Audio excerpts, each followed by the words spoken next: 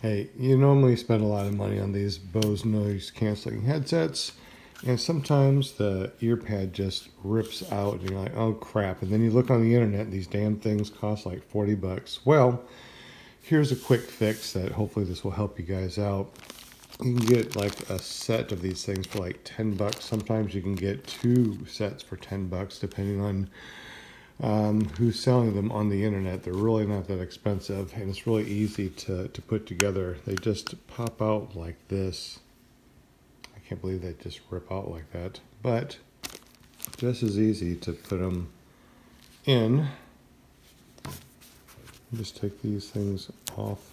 I don't even use these. You can put them in here, but so far I haven't used them. I just keep the original pad that's in here.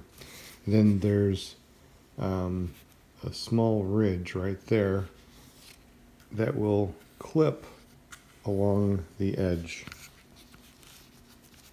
I mean, I'm doing this with one hand and filming so you can see how easy it is.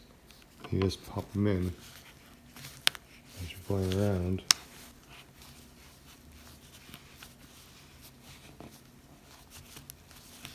Like so. And now, just as easy, as before,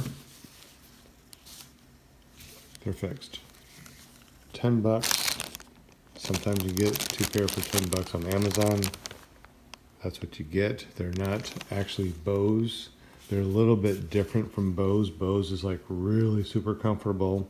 And these are almost as comfortable, but for 10 bucks for a pair, you can't beat it. And I just have a couple on hand. So anyway, like I said, you can put that in if you want. I haven't because I keep the original in there. And uh, have a great day. Thank you for watching. Hope that your headphones work now.